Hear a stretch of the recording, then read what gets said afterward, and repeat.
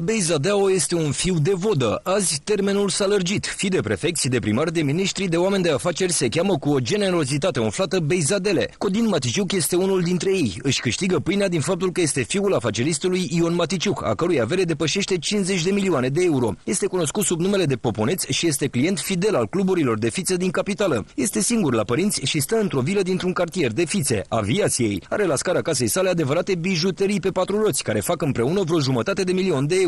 Mult puțin, Codin se mândrește cu ele. Un Mercedes SL Cabrio, un Porsche Cayenne turbo negru, un Maserati Spider argintiu, iar ultima primită cadou de curând de la părinți este un Ferrari 430 Cabrio, pe care s-a plătit în total peste 7 miliarde și jumătate de lei. Pe scaunele lor s-au perindat femei râvnite de mulți români, Gina Pistol, Ana Maria Ferenț și mai nou Ana Lesco. Codin este un răsfățat al sorții, poartă haine și accesorii de mii de euro și are masă rezervată în toate cluburile de fițe din capitală. Lui Codin îi place să stea în capul mesei și să petreacă. Prețul este indiferent. La aniversarea sa de 27 de ani a povestit că nota de plată a petrecerii a însemnat vreo 60.000 de euro, fără a pune la socoteală programul artistic, dar a meritat. Când vine vorba de fițe, nu putea fi exclus chiar fiț. Cântăreț pentru o vară, proprietar de firmă de gunoi plin de lanțuri de aur și o mie de inele plus nelipsita haină de blană. Deși împovărat de prea multele blănuri, fiț își duce cu destoinicie crucea. Și asta pentru că este nedespărțit de o cruce mare de platină pe care o poartă la gât și pentru care a scos de pe card 3000 de euro. 32 de briliante o împodobesc și îl scapă pe fiț de orice neplăceri sau necazuri. Ca să-și ajungă din urmă fițele, fiț și-a mărit chiar și penisul și a investit 50.000 de euro într-un film erotic. Lui fiț îi plac blănurile, grupurile de femei, șampania și mașinile. Fie că sunt sau nu mașinile sale, ori doar s-a pozat lângă ele, fiț a reușit să stârnească cu mașinile lui suficientă admirație. Are șase la număr. Hispano-Suiza, mașină fabricată în serie mică în perioada interbelică, un Lamborghini, două BMW, un Porsche și un Mercedes.